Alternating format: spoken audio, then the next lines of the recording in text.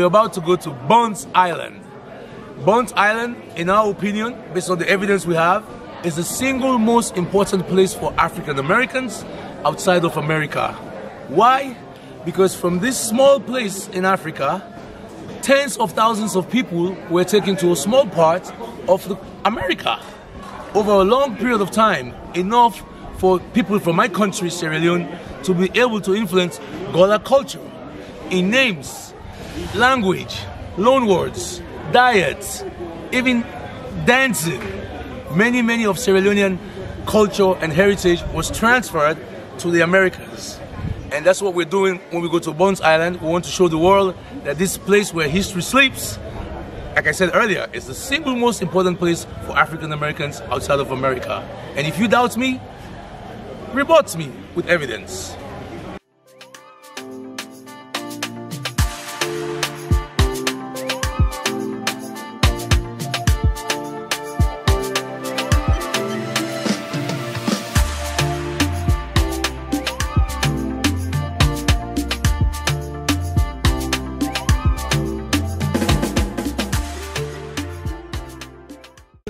Gates Tower. So, all, at this gate, this is how you would enter Bunce Island and exit. But what I want to point out is that at this gate, it was manned by two armed guards at all times, 24-7. They were up here and they would let people in by opening the gates. But also, these two guards would have their eyes downriver at all times, looking for movements, ships. They have a, a fireplace in there. Can you imagine? A fireplace in Africa. but they didn't use it, it was just to beautify their, yeah, the house. So fireplace, fake fireplace, just to show some opulence. Over here, where you see into the men's slave yard, which we're going to next, or we're going to go around there next. But you can see slaves in here, and you can just pick who you like. Now, there's, a lady that came here in the 1790s. Her name was Anna Maria Falconbridge. Anna Maria Falconbridge was here for dinner once from upstairs, right? Uh, she said that uh, in her notes, there was all kinds of wine and food, you know, in the bourgeoisie style. But she happened to walk by one of the windows upstairs. And when she looked outside, this is how she described what she saw. She said she saw naked black men chained together in groups of 10 and the trough of rice they were using to satisfy their craving for food.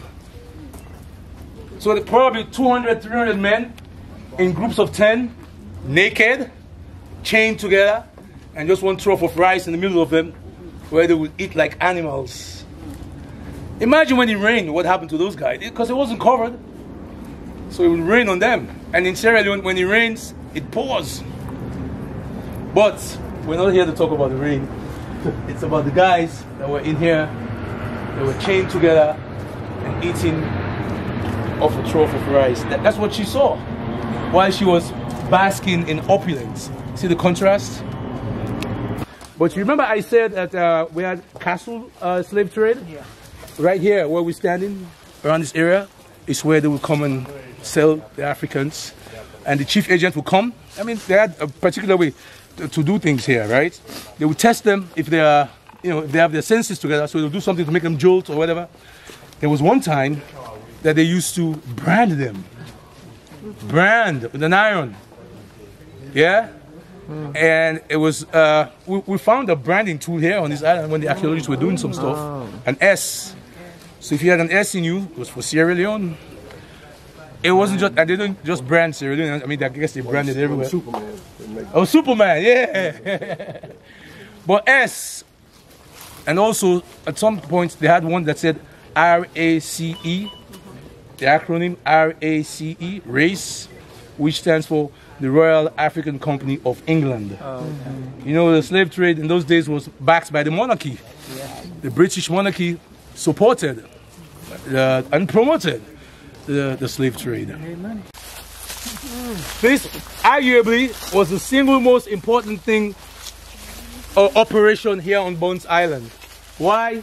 Because they had a deadbolt, dead man lock system. Are you familiar with that? IT. I mean, if you want to go to um, some uh, data centers, for example, they have doors where you step in into one side and they lock it behind you before they open up the others. So who had asked a question about the riots? Someone had asked a question about, was it you that asked a Yeah. question about the riot? Uprising. Up. So again, two officers with guns. There's a, there was a ledge here, and they will, you know, uh, open up the gates when it was time to feed. So, so, say for example, I'm bringing in food now. I will talk to these guys. They will ask, "Who goes there?" You tell them who you are and what you're doing, and if they know your voice, I guess they will let you in. In here, over here is the women's slave yard to my left, and to my right is the men's slave yard. Mm. So once I enter in here, those guys abo- above me will lock this door before they open any of these. Like at jail. Because if they open this and you want to run out, this door is locked, right? You can't get anywhere. But if these two doors are open at the same time, I mean, yeah, those guys can do some stuff. And the reason why they did this was because there were riots, even if not here, in other parts where they were doing business. So they learned from that. Mm-hmm. All right? All day long, what what they said you used to hear was all kinds of sounds, people crying, you know, because, mm. yeah, they know their lives have changed forever. Kids with mom, parents. Yeah. And what was the what was the ages of the children? They, they would differ. I mean, uh, Priscilla, for example, was 10 years old in 1757 when they took her from here. So women slaved here, here. And guess what? Don't quote me on this because I don't know for sure. But they had a hut in here. A what? A hut. Hut. This two rooms. And they didn't have one in the men's slave yard. And they had a route to walk from Bunce Island House through the garden. They, they- have a formal garden back there. This was where you will find the first golf course in Africa. Two hole, two holes, a two hole golf course was back there somewhere. I'll you when we go around there. But if they had uh, a hut in the women's and children's slave yard, and they didn't have one in the men's slave yard, I want to let your imagination flow. Sargent and Oswald, the company that ran Bunce Island at the most profitable time, I mean, these guys were masters of the business. And they didn't only work with uh, Bunce Island and Africans, they brought things from India, they were engaged in uh, uh, Asia and other parts of the world, the Caribbean. So, for example, the African leaders, you know what was the most important? Because they didn't have cash then, they weren't buying slaves with money, it was a barter system. Who could guess what the Africans wanted more than anything else? No, we're, ca- we're- we're taking rights away. What did they want here? Guns. Cloth. Who said cloth? That's it.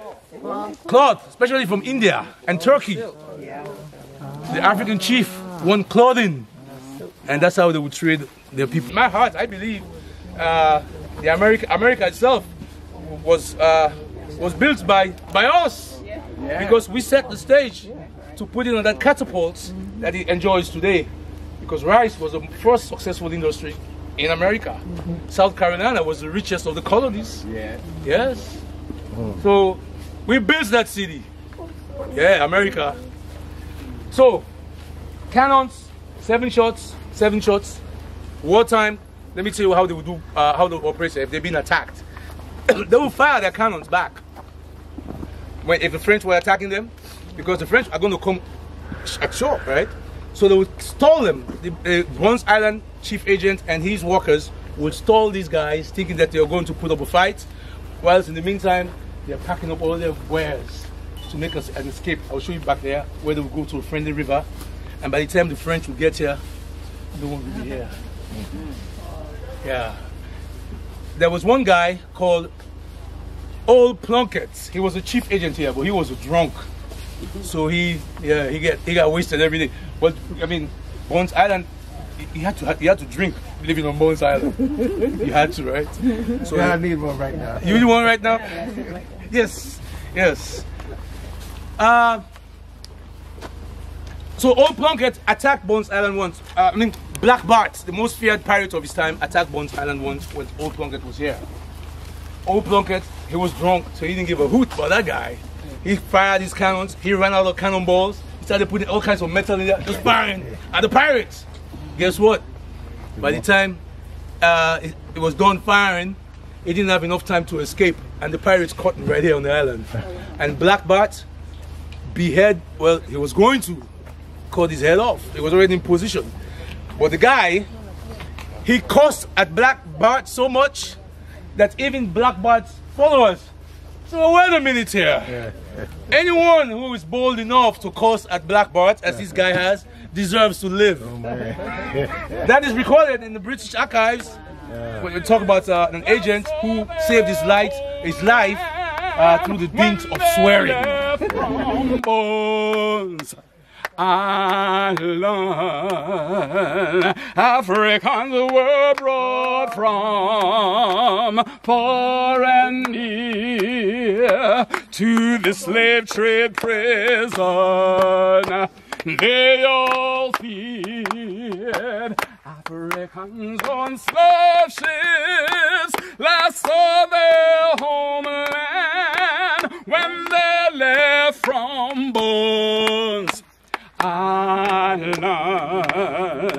The British built this castle. It once was grand, but now the ruins are all that stand. Africans on slave ships last saw their homeland when they left from Bunce. We have an organization called Fambul Tik, which means family tree in English. And what we do as an organization is reach out to descendants of Sierra Leone and try to reconnect with them and hopefully bring them back not just to do tours, but to try to do something around economic empowerment activities. So that's our overall uh, goal or vision. Uh, on this particular trip that we're doing now, uh, we refer to it as the Sierra Leone Gullah connection, the next step. So we've had about four interventions between Sierra Leoneans and, and Gullah Geechee people, but this is the fifth one, and we're going a little deeper, so we refer to it as the next step. Now, on our trip are Gullah leaders, cultural activists, preservationists, academia, and everyday people. So we are here to teach Gullahs about our about their origins and where their Gullah culture originated from. Now, also and importantly, also is that Gullah Gullah Geechee people will be teaching Sierra Leoneans about their own culture. So I sit here on Bunce Island, uh, where we have a slave fortress that sent tens of thousands uh, of Africans, enslaved Africans, to the colonies, South Carolina, and 60 years later, Georgia. So what we want these group of people to, uh, to do is what they normally do when they do their work, right? Because like I said, some of them are performers, cultural activists. They will learn some of our culture, and they will tell that story when they go back to um, uh, America. So it's a two-way thing, just like we have a two-way connection between Gullahs and Sierra Leoneans. This particular tour has a two-way kind of uh, approach.